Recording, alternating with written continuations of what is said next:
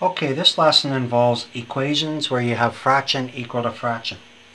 And I'm going to first of all show you the long cut and then I'll show you the shortcut. The long cut is, as we worked before with equations with fractions, we'd find a number that 7 and 6 both go into, and that would be 42. So we'd start off by multiplying both sides of the equation by 42. Well, when we do that, then we say 7 goes into 42 six times. 6 goes into 42 seven times. So we end up with 6 times 3x, which is 18x, and 5 times 7, which is 35. Now what I'd like to do is show you a quicker way to get to that same answer. And we're going to use this quite often in this series of solving equations. Here is a quicker way. It only works if you have a fraction equal to a fraction, nothing added or subtracted to either of them. What we're going to do is cross multiply. These two guys multiplied have to equal these two guys multiplied.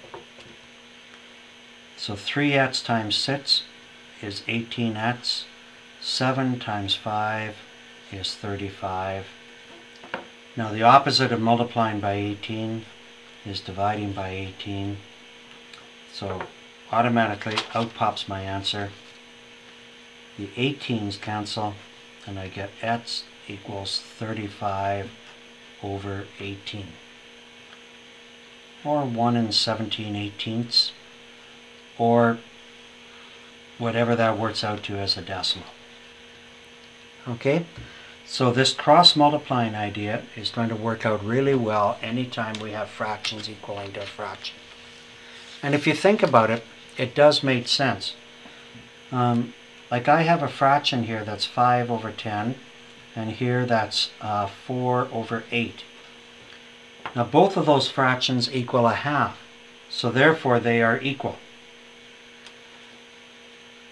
okay, because they both equal half. Now look what happens when I cross multiply. These two guys equal 40. These two guys also equal 40.